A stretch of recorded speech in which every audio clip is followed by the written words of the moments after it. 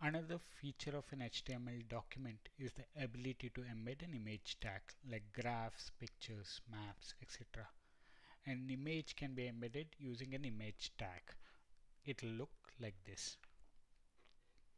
Starts with img and there's an attribute called source and then it ends with slash which means that there's no end tag it's just one single tag now within the source you have to give the path of the image or the URL of the image. If it's on a different web server or a website you can give the full path.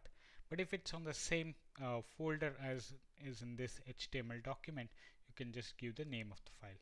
For example here I have the name of the file uh, copied and it's in the same folder. So I can paste this copied file name here in the source and then I can just save it and refresh this document and it should show you the image in the HTML document.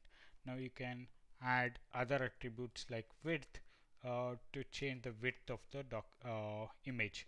Let's say we want to make it 400 pixel and I can save it and refresh it. Now it increases the size of the image. Now image might look bad because it could be of low resolution but it will adjust the size of the image uh, according to the width given. Now you can give both width and height or you can give one of them. If you just give one of them it will adjust the image according to the aspect ratio. If you give both it will use both. Um, that's it actually. Thank you